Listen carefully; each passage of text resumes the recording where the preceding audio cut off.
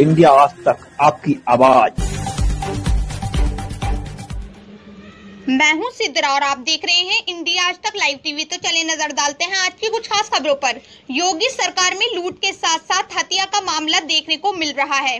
ऐसा ही एक मामला झांसी की थाना प्रेमनगर क्षेत्र, पुलिया नंबर नौ, नयापुरा कचियाना मोहल्ले का है, जहाँ पीड़ित मुमताज़ बेगम पैंसठ वर्षीय को गला घोटकर और उसकी गले की चैन, कान के झुमके छीनकर जान से मार डाला।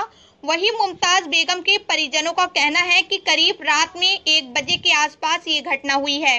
घर का मेन गेट बंद होने के बाद भी आरोपी घर में घुस आए। परिजनों का कहना है कि आरोपी छत से चढ़कर आए और उन्होंने घटना को अंजाम दिया। परिजनों का कहना है कि घर में सभी लोग सो रहे थे। ये कब हुआ? किसी को कुछ पता ही नहीं चला।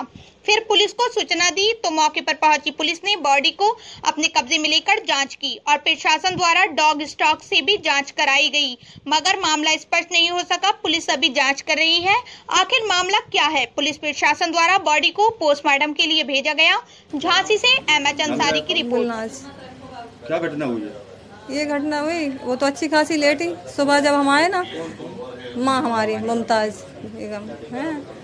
आए तो भतीजी गई, कहने दादी के बाल बिखरे हुए हैं। तो हमने कहा, है? तो आए, देखा तो बस उनको हमने ढिलाए डुलाए तो गले में उनके खून के निशान थे चूड़ी मूड़ी फूटी थी। गले में जो पहने थी, वो भी नहीं है उनको। बस, और उनकी बॉडी इतनी कर रही थी कि बारह एक बजे का टाइम था। हमने देखा, थोड़ी जानवान हो तो उनको ले जाए, लेकिन नहीं, उनको जानवान नहीं थी। बस फिर सबको बुलाया, इकट्ठा किया। फिर घर में जो तहकीकात हुई तो दो सॉल मिले हैं। वो हमारे घर के नहीं हैं। उसमें स्मेल आ रही है मट्टी के तेल की। अब ये चाहते हैं कि आप पता लगाइए ये कैसे हुआ। और ताले हमारा जो मेन गेट है उसका ताला बंद था। उस घर में हमारी माँ सोती है और हमारी भतीजी है। नहीं भतीजी को कोई जानकारी नहीं है। वो यानी कि पाँच फीट का गैप है शायद इतना ही है। पाँच ही फीट है ना ये? अच्छा घटना हो गई आप लोग को भी पता नहीं चला? हम तो वहाँ रहते ये हमारा घर बगल में दो तीन घर छोड़ के। भैया भाभी ऊपर रहते हमारे। और डैडी हमारे ये सो रहे थे बाहर। फिर क्या हुआ है आज प्रेम नगर की पुलिया नंबर नौ क्षेत्र में? आज सुबह लगभग आठ बजे के आसपास जो है यूपी 112 से सूचना मिली थी कि पुलिया नंबर नौ में एक महिला जिनकी उम्र लगभग पैंसठ वर्ष है मुमताज़ उनकी डेड बॉडी घर के अंदर पड़ी हुई है।